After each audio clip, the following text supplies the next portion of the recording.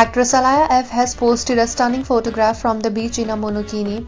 In the Instagram picture, Alaya stands at the beach with her hands up and smiling at the camera in a white cutout monokini that complements her perfectly toned abs. Freedom, Alaya captioned the image.